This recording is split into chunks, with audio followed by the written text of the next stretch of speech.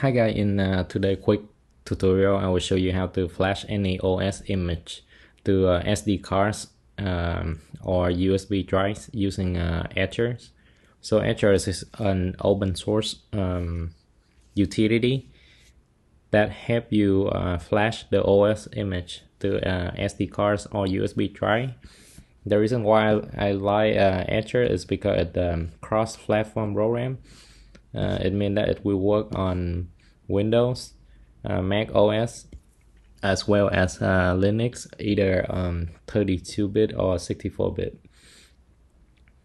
So it the program is pretty uh, simple, straightforward.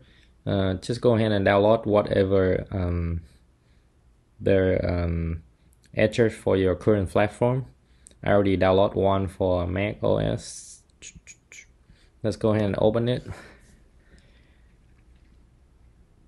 So um, for this tutorial, I will flash in um, FreeNAS 1143 to a USB drive.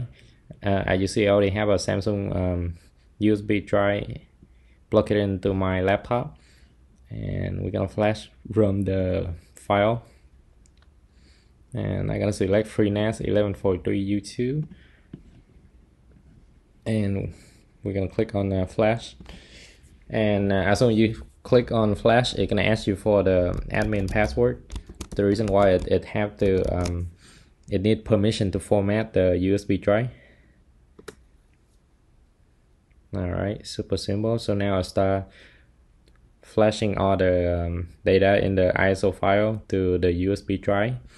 The good thing about Etcher is uh, after it write all the data it also verifying make sure all the data that it write um, it uh, retained the integrity and it wasn't corrupted um, during uh, the write process.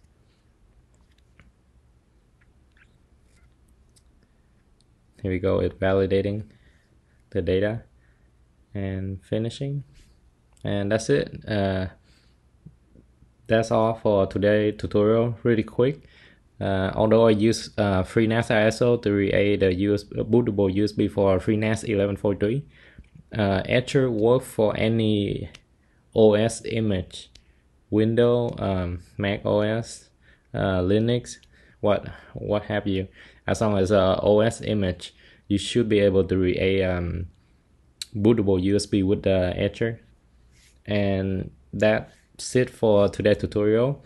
If you guys think it's helpful, please give me a thumbs up. Um, if you like my channel go ahead and uh, subscribe to my channel.